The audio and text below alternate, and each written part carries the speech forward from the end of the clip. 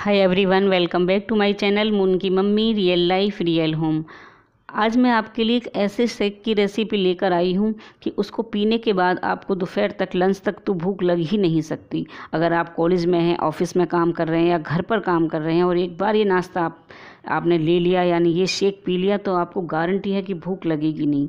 एकदम कंप्लीट ये नाश्ता है आपका कंप्लीट नाश्ता वाला शेक है ये आपका। This is perfect for health and also taste so much और टेस्ट के लिए इसमें इलायची डाल दीजिए।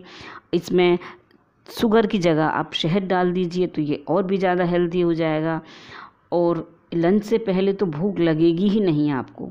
ये never feel hungry against shake है।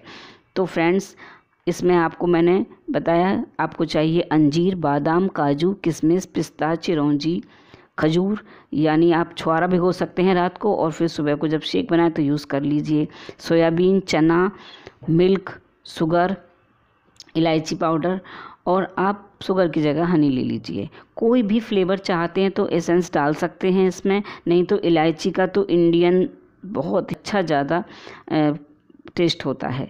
तो ये देखिए, इस तरह से आप सब मिक्सी में डाल दीजिए जार में और पीस लीजिए और आप ठंडा ठंडा यूज़ कीजिए। गर्मी है तो ठंडा, सर्दी है तो आप नॉर्मल पी लीजिए इसको। ये इतना टेस्टी शेक है और एक बार आप इसको पियेंगे तो मुझे याद करेंगे कि कितना अच्छा शेक बताया था। आपको भूख लग ही नहीं सकती। अगर आप रात को पीते हैं, रात भर बैठ रहे हैं काम करने के लिए तो सुबह तक भूख नहीं लगेगी और सुबह को आपने पी लिया तो आपको लंच से पहले तो भूख लग ही नहीं सकती। लंच तो आप, फिर आपकी मर्ज़ी, आप करें नहीं करें। इसमें फाइबर प्रोटीन आप देख रहे हैं ना, इसमें सोयाबीन भी है, चना भी है, काजू है, किशमिश है, अंजीर है। यानी कि टोटल परफेक्ट नाश्ता है ये आपके लिए। और टेस्टी भी होता है ये। अब सुबह को कौन पराठा बनाए? सारे फ्रूट काटो, ये ब्रेड, वो, लो, ये सब। इससे अच्छा है आप ये सब भिगो दीजिए डेली और सुबह को मिक्सी में पीसिए और दूध के साथ और पी लीजिए बस।